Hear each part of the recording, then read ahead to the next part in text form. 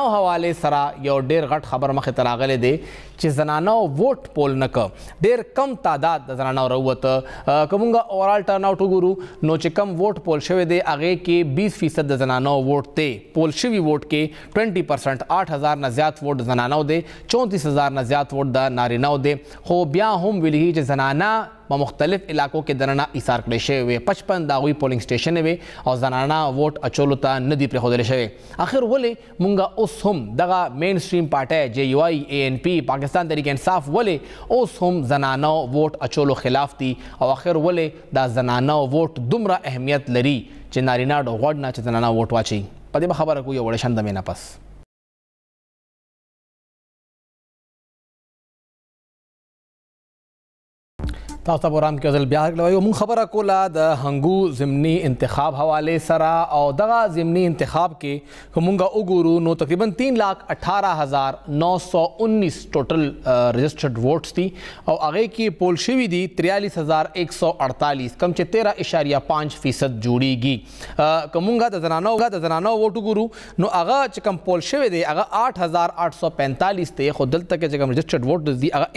138000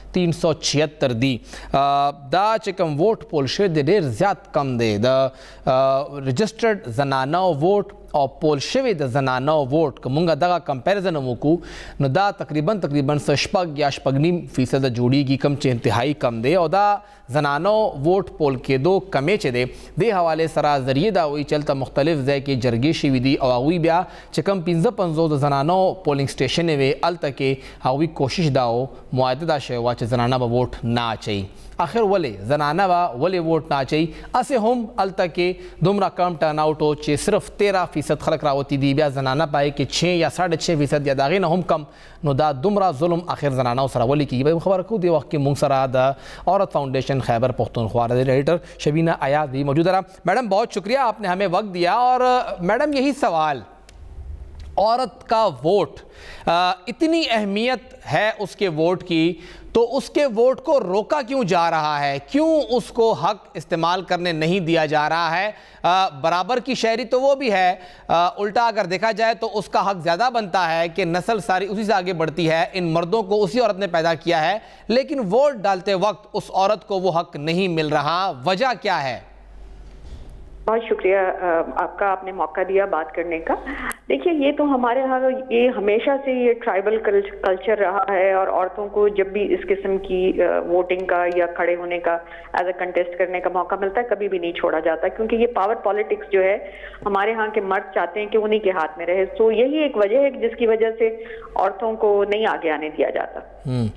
और मैडम ये जो क्योंकि आपने पहले भी काफ़ी काम किया जो बीस अठारह में इंतबात हुए आपने मुख्तलिफ़ हल्के देखे आपकी जो फाउंडेशन है उसने हर एक हल्के का अलग से जायज़ा लिया। हमारा इलेक्शन एक्ट इसके बारे में क्या कहता है? जो कुछ अभी हंगू में हुआ अगर कंपेरिजन करें। जी।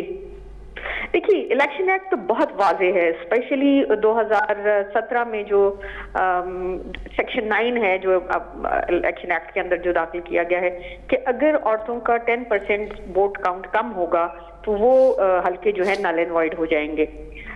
इसको फिर हमने देखा, एक्सरसाइज हुआ ये 2018 के इलेक्शंस में। पीके ट्वेंटी थ्री था शांगला का शायद। जी जी। वहाँ पे हमने देखा कि औरतों के वोट कम थे छह परसेंट थे या पाँच परसेंट थे शायद और वो काउंट फिर वाइड हो गया था। तो मेरा ख्याल है कि इलेक्शन रूल्स तक तो बहुत अच्छा है कि जो किया गया है। लेकिन इसमें हिच ये है कि इलेक्शन जो है वो खुद से वो लोग वॉइड नहीं कर सकते उसके लिए किसी को शायद अदालत में जाके उसके ऊपर करना पड़ता है। और मैडम ये जो आप कह रही हैं टेन परसेंट वोट तो ये क्या पोल हुए वोट्स का टेन परसेंट होना चाहिए या नहीं? रजिस्टर्ड जो वोट है उनका तो पूरा टोटल जो वोट कास्ट होता है उसका टेन परसेंट अच्छा यानी जो अभी हमने अगर हंगू के हम लोग बात करें तो यहाँ पर जो कास्ट हुआ है वो 20 परसेंट बन रहा है, लेकिन जो वहाँ पर रजिस्टर्ड वोट है, उसका 6 परसेंट बन रहा है। तो मतलब ये फिर कोई मसला नहीं है, खैर ऐसा से कम हो सकता है। देखिए खैर तो नहीं है फहीम साहब बिल्कुल भी खैर नहीं है। होना तो ये चाहिए कि हर पोलिंग स्टेशन के ऊपर टेन परसेंट की बात हो ताकि हर जगह से औरतों को लाया हाँ, जाए सामने। हाँ। लेकिन हमारे यहाँ हो, होता यही है क्योंकि अब ये आगाही है स्पेशली जो मैंने आपको बताया शांगलाब का भी और उससे पहले शायद वजीरिस्तान का भी कोई था एक। तो उसके बाद ये आगाही कम अज कम है कि ये पोल्स जो हैं वाइड हो सकते हैं सो अब खुद कैंडिडेट भी कोशिश करता है लेकिन वो भी बड़ी आ, मतलब आपको कहने जैसे चालबाजी की बात होती है कि इतना वोट डाला जाए कि जीत जाए क्योंकि हम्म। इससे पहले दो हल्के जो थे हमने देखा PK nine N N eighty five और पीके ट्वेंटी थ्री में जी जी। तो अब ये हद तो कोशिश की जाती है कि औरतें वोट डाल दें लेकिन ज़्यादा की ज़रूरत नहीं है बस उतना ही जितनी जितने से काम निकलता है अच्छा मैडम, आपने काफ़ी जो हमारा कॉकस एक इदारा है, जो एक कमेटी सी बनी है, वुमेन पार्लियामेंटेरियंस की उनका काफ़ी लाइजान से काम भी किया है, जो फेडरल हमारी इस वक्त एम एन एज़ हैं, उनसे आपने रबता किया है, उनसे बात की है, काफ़ी काम किया है। विद इन द पार्टी जो एक ख़वान का कल्चर है, क्या कहेंगी क्या, वो भी इस चीज़ को उतना ही कमतर समझता है कि औरत वोट डालने ना आए, सिर्फ़ मर्द ही वोट डालने आए, या सिर्फ़ ये इलाकाई मसला है, पार्टी का मसला नहीं है? ये जी बिल्कुल पार्टियों का मसला है ये मेन स्ट्रीम पार्टियों का मसला है ये जो पार्टियों की जो डिसीज़न मेकिंग बॉडीज हैं उनका मसला है। लेकिन हमारा सबसे बड़ी बदनसीबी ये है कि हमारी वो पॉलिटिकल पार्टियाँ भी जो अपने आप को प्रोग्रेसिव कहती हैं वो भी इस मसले पे पीछे हो जाती हैं। यहाँ देखिए ये जो आप इलेक्शन जिसका ज़िक्र करें यहाँ भी कहते हैं कि जिरगा बैठा तमाम पोलिटिकल पार्टियों ने अग्री किया। और इससे पहले भी हम देखते हैं कि पोलिटिकल पार्टियों ने दस्तखत भी किए होते हैं लेकिन वो पोलिटिकल पार्टी अपने डिस्ट्रिक्ट के अहदेदार के ऊपर कोई भी एक्शन एक्शन नहीं लेती। और वो कहते हैं जी कि ये डिस्ट्रिक्ट का अहदेदार जो है इनके अपने फैसलों में ये आज़ाद होते ये कैसे हो सकता है? अगर आप एक पार्टी के टिकट से लेते हैं तो आप अपने पार्टी की जो मेन लाइन है उसी को टो करेंगे ना। हम्म। लेकिन हम देखते हैं ऐसा नहीं। और औरतों की जहाँ तक अगर आप बात करते हैं देखिए हमारे यहाँ की जो औरतें हैं चाहे वो एम हैं एम हैं वो पार्टियों के अंदर दूसरे दर्जे की शहरी हैं। उनकी वो से नहीं है आज भी नहीं है। सिवाय एक दो लोगों को छोड़ के कोई किसी की से नहीं, आप खैबर पख्तूनख्वा की असम्बली देख लें या नेशनल असम्बली देख लें, किसी असम्बली में औरतों की वो से नहीं है जो मर्दों की है। मैडम आप बहुत बड़ी बात कर रही हैं। अब मरियम नवाज़ साहिबा अगर हम देख लें या मरियम औरंगज़ेब साहिबा को देख लें नून लीग के अंदर अगर हम पीटीआई की बात करें श्री मजारी साहिबा हो गई या फिर उसके बाद हमारी डॉक्टर सुमेरा शम्स हो गई अगर हम पीपल्स पार्टी की बात करें शरी रहमान हो गई निगत औरंगजेई हो गई। आपको इसीलिए कहा कि एक दो को छोड़ के मतलब पार्टी में एक दो लोग ही होते हैं समर बिलोर बीवी होगी बस एक दो चार लोग हैं। आप कहते हैं बाकी जो है पार्टी के अंदर उतना उस तरह से काम नहीं है।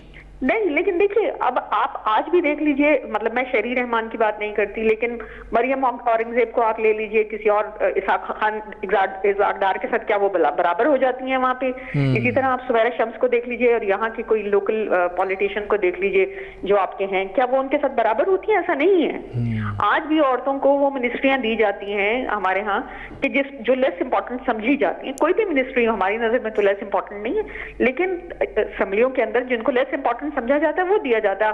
केपी असम्बली में तो अगर आप देखें तो यहाँ तो कोई अभी तक कोई मिनिस्टर ही नहीं बनाया गया किसी औरत को। हम्म। हालाँकि ये बहुत काबिल औरतें हैं मेरी नज़र में। लेकिन पार्टी की नज़र में इनको वो अहमियत नहीं होती जो कि मर्दों की होती है। सही। तो मैडम इसका फिर वे आउट क्या है? आ, अगर आपसे जानना चाहूँ दो तीन एस्पेक्ट से। एक तो ये कि लिखा हुआ कानून तो है लेकिन उसकी इम्प्लीमेंटेशन क्या समझती हैं? इसमें इलेक्शन कमीशन कितना जिम्मेदार है? फिर उसके बाद पॉलिटिकल पार्टीज़ और आखिर में जो हमारा एक सोशल सेक्टर है या हमारे जो लोग हैं चाहे वो इनफॉर्मल सेक्टर क्यों ना हो, वहाँ पे जो जरगे हैं, मकामी अमायदीन हैं, वहाँ पे जो फैमिली सिस्टम है, उन सब का कितना अहम किरदार है इसमें? देखिए, इसमें एक तो ये कि हमारी औरतों की जब हम बात करते हैं और कवानीन की बात करते हैं तो हम समझते हैं कि लेक्चुनर्स रखे जाते हैं शायद ये भी डिलिबरेटली होता है हम्म। ये जो election commission sorry election law है इसमें देखिए टेन परसेंट बात की गई है ओवरऑल वोट्स की हम्म। अगर यही टेन परसेंट की बात की जाए कि हर इलेक्शन हर पोलिंग स्टेशन पे टेन परसेंट वोट डाले जाएँगे उस उस हल्के में जितने भी हैं मेजोरिटी वोट जितने भी हैं तो फिर तो बात बनती है वरना तो इसी तरह होगा कि किसी एक पॉकेट में तो डल जाएँगे बाकी पूरा इलाका जो है रह जाएगा क्योंकि वहाँ पे जिरगा हुआ होगा हम्म। शहर में डल जाएगा और बाकी पूरे हल्के तो सबसे पहले तो इलेक्शन रूल्स जो है उनके अंदर तब्दीली की जाए और ये कहा जाए कि हर पोलिंग स्टेशन के ऊपर कम अज कम दस फ़ीसद औरतें वोट डालें हम्म। फिर शायद ये मिथ टूटेगी और जहाँ तक पोलिटिकल पार्टीज़ की बात है पोलिटिकल पार्टीज़ का बहुत बड़ा कसूर है इस सारे के अंदर खुद ये पोलिटिकल पार्टीज़ जो है डेमोक्रेटिक नहीं है अपने इंतज़ाम के अंदर अपने काम के अंदर और ना संजीदा है ये औरत। इनको अकाउंटेबल करना पड़ेगा और तभी शायद चेंज आएगी। और और हमारा जो इनफॉर्मल सेक्टर है, जो हमारे घरों के अंदर इस वक्त माएँ हैं, हमारी बहनें हैं, उनका किरदार अपने बच्चों को एजुकेट करने में या वहाँ पे इलाके के अंदर, इलाकाई लेवल पे अभी बल्दियाती इंतबात भी हुए हैं। वुमेन काउंसलर्स आई हैं चेयरमैन आए हैं, उनका किरदार कितना अहम होगा? देखिए बहुत अहम है, ज़ाहिर है, तब्दीली तो जो आती है, घर से आती है, मोहल्ले से आती है, शहर से आती लेकिन देखिए, हमारे सेटअप के अंदर जो है पॉलिटिकल पार्टीज़ तो लोगों की होती है ना, लोगों से आवाम से उठ के आती हैं, आवाम के लिए बनती हैं, आवाम को काम चलाने के लिए बनती है। मैं समझती हूँ पोलिटिकल पार्टीज़ अगर एक दफ़ा ये तहिया कर लें कि हमने औरतों को लेके आना है तो फिर आम मकामी लेवल पे भी तब्दीली आएगी। और आपकी बात बिल्कुल सही है कि औरतें आई हैं लोकल काउंसलर लेवल पे, लेकिन आप देखिए किस तरह से औरतें आई वो अपनी इलेक्शन कैंपेन वो लड़की, औरतें नहीं चला सकती थी, वो लिखती थी जोजा फलाने को आप दे दें वो, वोट दे दें, या इस तरह की चीज़ें। सो हमारे यहाँ तब्दीली जो है, वो बहुत दफ़ा ऐसे है कि ऊपर की सतह से आनी चाहिए। हम ये जो एक्सपेक्ट करते हैं कि घर और मोहल्ले के लेवल से आएगी, ये बहुत मुश्किल है। या अगर आई भी तो बहुत टाइम लगेगा इसमें। पॉलिटिकल पार्टीज़ को और हुकूमत को इलेक्शन कमीशन को एक्शन लेने पड़ेंगे और सख्त काम करने पड़ेंगे, तभी शायद तब्दीली आ सकेगी। बहुत बहुत शुक्रिया, शबीना अयाज साहिबा एडिटर औरत फाउंडेशन खैबर पख्तनख्वा सिंगावर दिल चाहू ज़िक्र कचे दो दरे लेवल बंदे कारकुल पका दियो खुदा यू टोल जिम्मेवारी द पॉलिटिकल पार्टीज़ दा, सुमरा हम द पार्टी मशरान दी, सुमरा पॉलिटिकल पार्टी दी ए एन पी दा जे यू आई दा Pakistan Tehreek Insaf Peoples Party Muslim League Noon, कमा पार्टी हम दा नु में वाखले, आगे पार्टी मशरान चिकल पूरे पखपला, दगा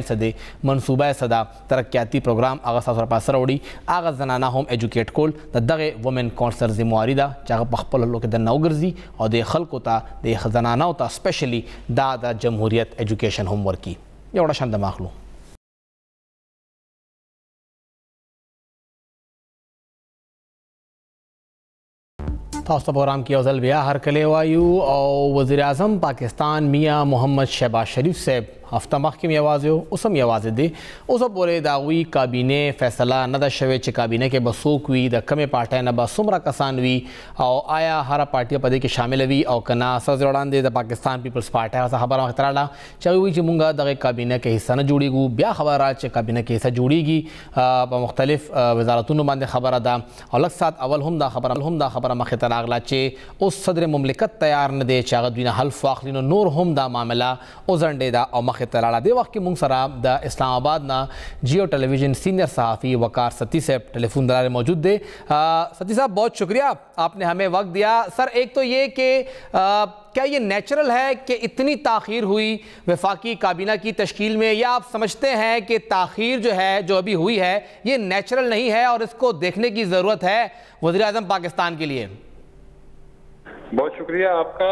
देखिए जब छः सात जमातें बड़ी जो हैं वो कोलिशन में जा रही हों और इससे पहले आपने कभी कोई डिस्कशन ना की हो आपका वन पॉइंट एजेंडा हो कि किसी तरीके से ये जो सबका रजीम हाइब्रिड रजीम थी उससे जान छूटे। तो ये तो ये तो ये बिल्कुल नेचुरल था। और दूसरा ये है कि इसमें कोई भी जमात ऐसी नहीं है जो ये कहे कि नहीं मुझे आपने ये वजारत देनी है या हम आपसे ये वजारत लेंगे।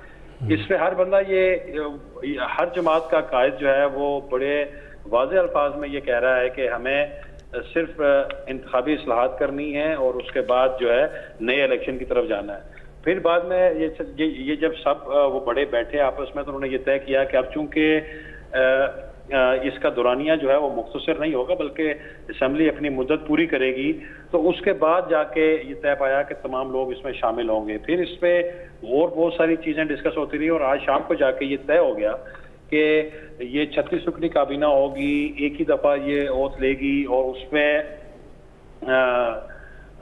इसमें चौदह लोग जो हैं वो मुस्लिम लीग नून से हैं, सात पीपल्स पार्टी से हैं, चार जो हैं वो जे यू आई फे से हैं और उसके बाद साथ जो वो दीगर वजारतें बचती हैं, वो एम क्यू एम में बलोचिस्तान अवामी पार्टी में और बी एन पी मैंगल में जो है वो वो तकसीम की जाएँगी और सुबह ग्यारह बजे जो है वोट होगा।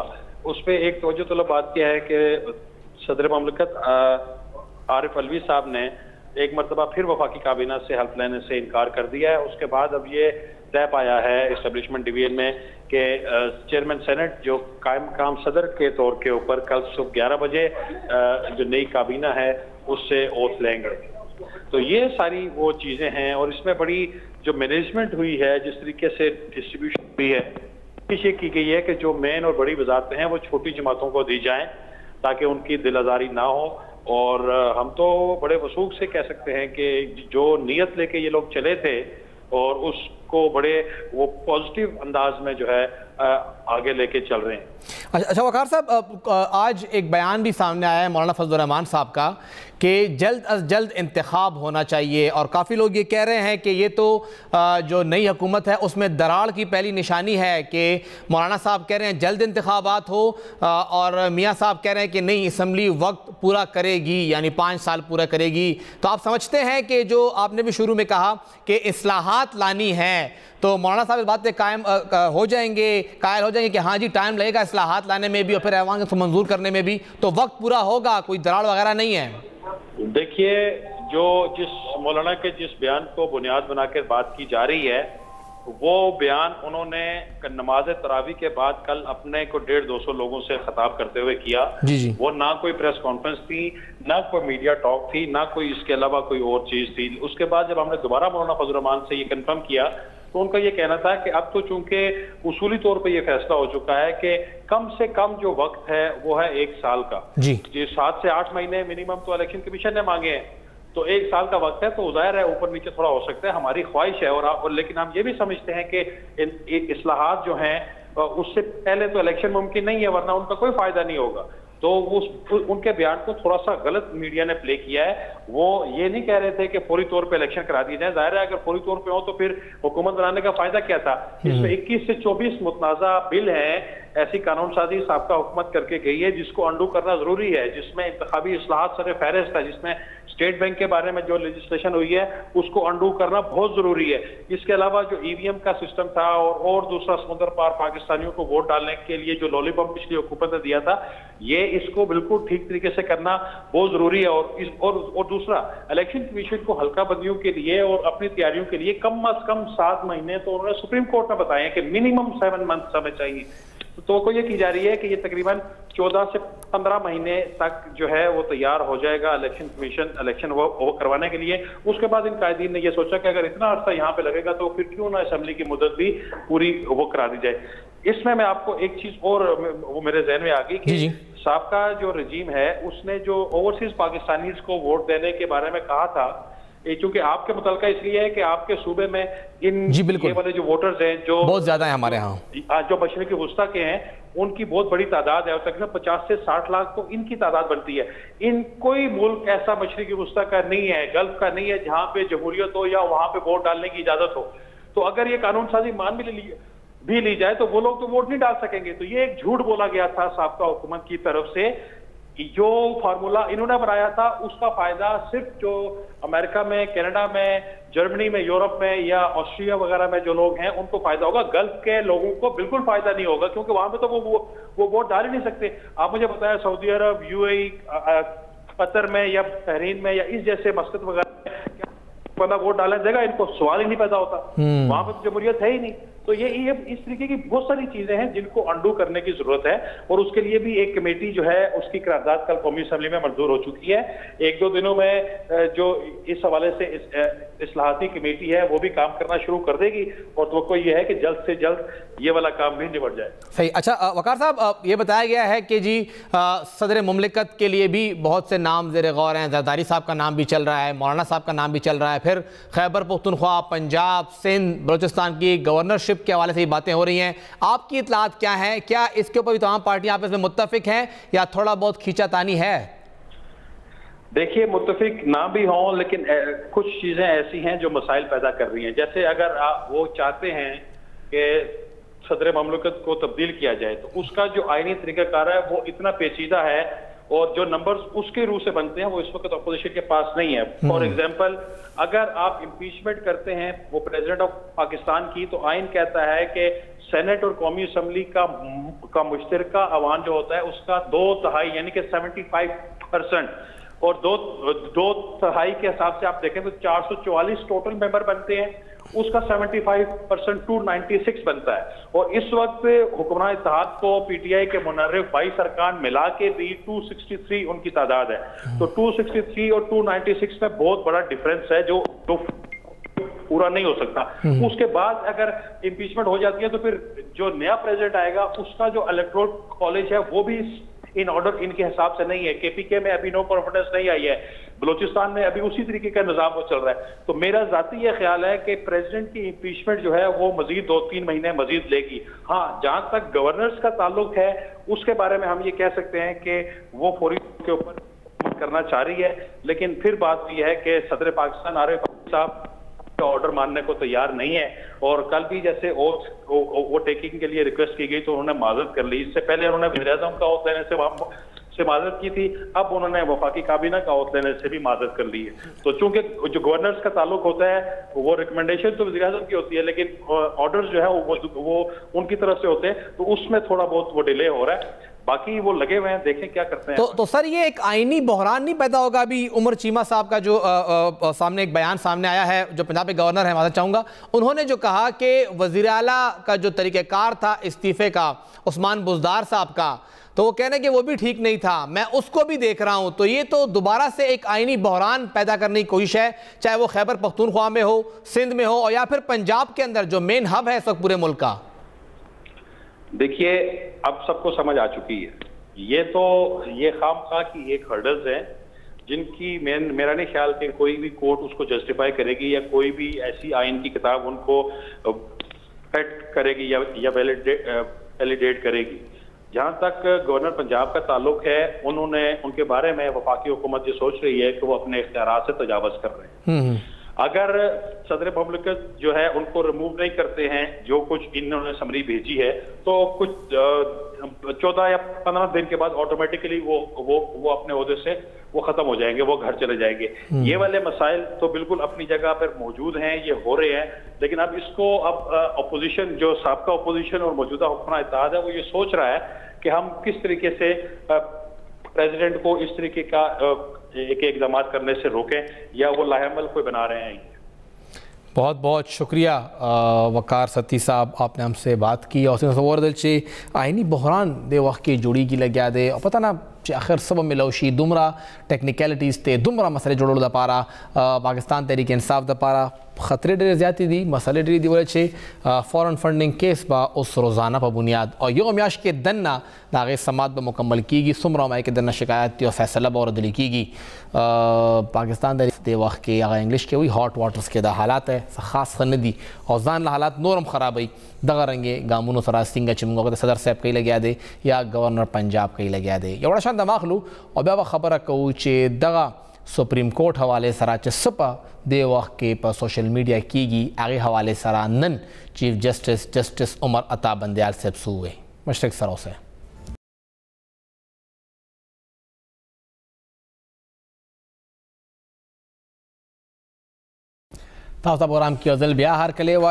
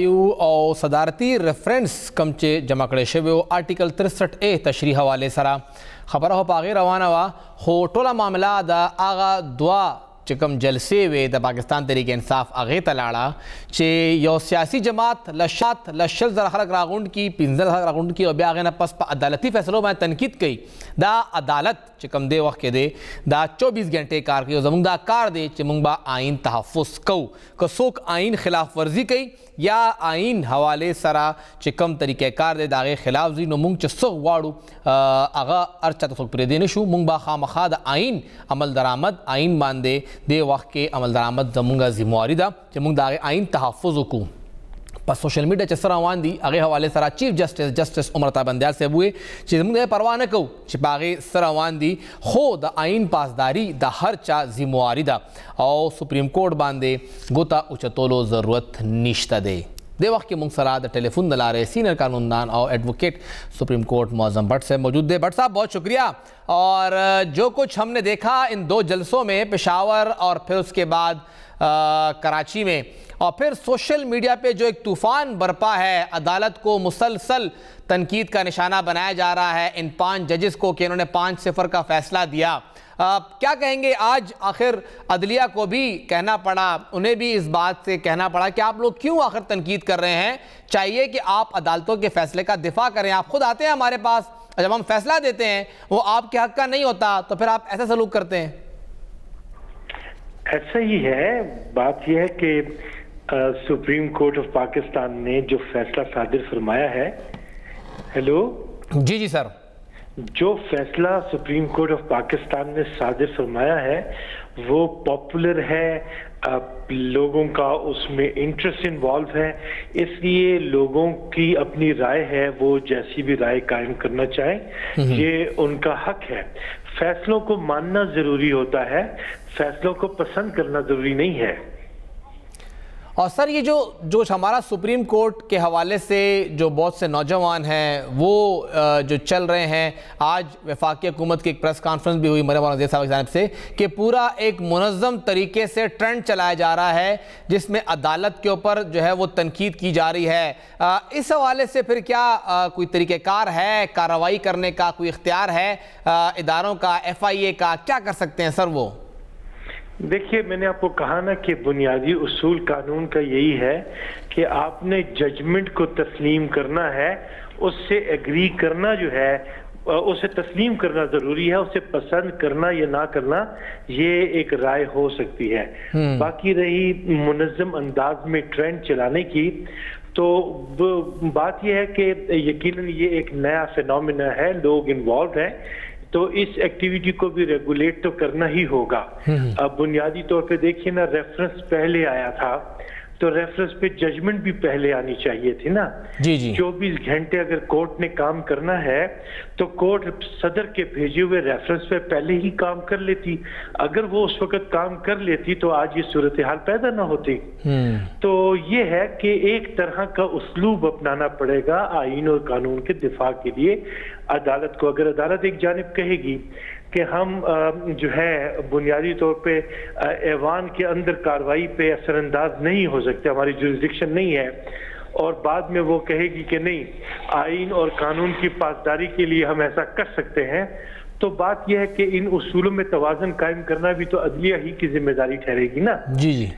तो इसलिए अब अदालत को ये तोज़न तो कायम करना पड़ेगा और उन्होंने चूँकि ये एक्टिविटी की है, खुद को सेफ़ जोन से निकाला है कंफर्ट जोन से निकाला है, इसलिए उम्मीद की जाती है कि उनकी कैपेसिटी बिल्डिंग भी होगी। अच्छा है कि मौसर फैसले भी दें और उन्हें जस्टिफाई भी करें। सही। और बट साहब, जो कुछ हो रहा है सारी बात है कि एक आम पब्लिक की आपने बात की ट्रेंड चल रहा है, जो भी एक आम लोग हैं।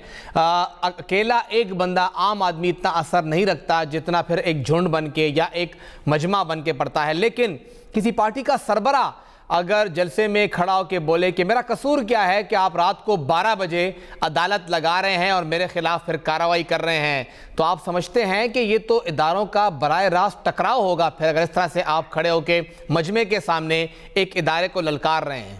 नहीं नहीं, सवाल पूछ रहे हैं। इस, देखिए, सवाल तो उठने हैं ना। और सवालात का उठना एक नेचुरल अमल है अब ये सवाल उठाया जाना आया आइन और कानून के मुताबिक है या नहीं है हम्म। इस पे हम राय कायम कर सकते हैं लेकिन बात यह है कि उसका असर तो होता है ना प्राइम मिनिस्टर जो थे जिनके साथ इतनी पॉपुलर सपोर्ट थी हम्म। आज अगर वो क्वेश्चन रेस कर रहे हैं तो रेस तो वो कर सकते हैं चाहे वो मजमे में करें वो तो घर में बैठ के अगर उसके सामने कंप्यूटर के सामने भी करेंगे तो वो उसका वही असर होना है उनके फॉलोअर्स के लिए जो कि वो आके मजबे में खड़े होते हैं। सो पब्लिक सपोर्ट जो है वो उनके साथ अगर आकर एक क्वेश्चन रेज कर रही है ना जी जी। तो ये uh, अहम सवाल हैं जिनका जवाब अदालत को देना चाहिए और अदालत ही की तो ज़िम्मेदारी ठहरेगी। तो सारा समझते हैं कि आज अदालत ने जवाब दिया है uh, कि आइन की पासदारी हमारी ज़िम्मेदारी है और 24 घंटे काम करने वाली अदालत है। यानी एक तरह से उनको भी इशारा दिया है कि आप आइन शिकनी कर रहे थे कि आपको कहा गया था कि जी, ये एक तरीक़ेकार है, आइन में मेंशन है, अदम अतमाद पे वोटिंग होगी और आप वो नहीं कर रहे। 123 लोग आपके साथ हैं, एक सौ बहत्तर होने चाहिए। आप 50 बंदे कम हैं, लेकिन फिर भी आप वजी बने हुए हैं तो आप आइन तोड़ रहे हैं। और कहा भी अदालत ने कि यहाँ पर तो लोग अचानक फ़ौरन से आर्टिकल सिक्स पे पहुँच जाते हैं, लेकिन हमने देखना है कि आइन की खिलाफ वर्जी हो तो नतीजा क्या होगा। समझते हैं आप कि अदालत ने काफ़ी हद तक उनको जवाब दे दिया है कि वो आइन शिकनी कर रहे थे। नहीं नहीं, अदालत ने अपनी पोजीशन वाजे की है और जवाब नहीं दिया, बल्कि एक तरह से देखा जाए तो उन्होंने उस तासर को रिस्पॉन्ड किया है, जो कि पब्लिक में ज़ाहिर हो रहा है। तो अच्छा है कि इसकी ऑब्जर्वेशन उन्होंने ली है। अब ऑब्जर्वेशन कंजम्पशन में थी चाहे पार्टी के लिए चाहे पार्टी के सरबराह के लिए चाहे पाकिस्तान की आवाम के लिए उन्होंने एक पोजीशन ली है और पोजीशन लेना भी तो अदालत ही का इस्तेकाक है। हम्म। तो अदालत ने वो पोजीशन ली और जवाब दे तो बन गई ना। पब्लिक की बात का जवाब तो देने पे वो माइल हुई। अहम फीचर ये है। और और भट्ट साहब अगर हम देखें ये पिछले दो चार हफ्तों में जो जो आप मशरक आए भी आपने बात भी की मशरक से आप समझते हैं जिस आपने ज़िक्र भी किया कि थोड़ा सा सेफ़ जोन से निकल के अदालत ने फैसला किया है। आप समझते हैं कि जो कुछ हुआ इन पिछले पाँच हफ्तों के अंदर ये पाकिस्तान में जमहूरियत के लिए बेहतर है कि हम इस प्रोसेस से निकल रहे हैं। चाहे एक केओस था लेकिन सीखने का अमल तो था। देखिए सर मैं तो एक बात आपको बताऊँ जहाँ पे अदलिया एक फर्द वाहिद को कॉन्स्टिट्यूशन में अमेंडमेंट का हक दे सकती है तो वहाँ पे जमहूरियत को रवान दवान रखने के लिए वो कोई भी फैसला इसी नीयत के साथ सादर कर सकती है। तो जैसे कि अदालत ने कहा कि हमारा तो जिम्मा है कि हम आइन और कानून की बालादस्ती को यकीनी बनाएँ तो बिल्कुल ये उनकी पोजीशन है और एक अच्छी बात है कि वो 24 घंटे अदालतें चला के ऐसे मौसर फैसले सादे फरमाएँ ताकि रूल ऑफ़ लॉ यकीनी हो सके।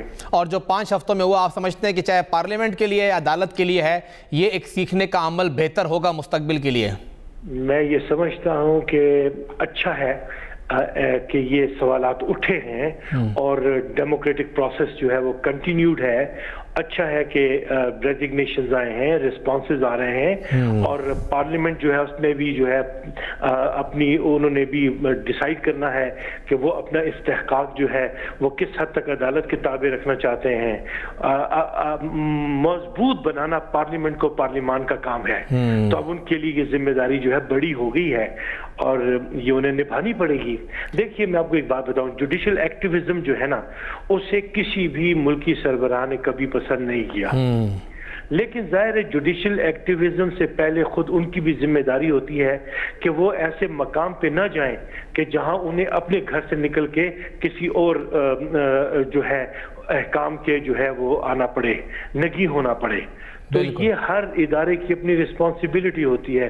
तोज़न नहीं कायम रख सकी हमारी पार्लियामान इसीलिए आज वो दिन देखना पड़ा कि जहाँ अदालत ने बराह रास्त वहाँ पे एक्टिविज्म का मुजाहरा किया है और मुदाखलत की है असेंबली के मामलात में।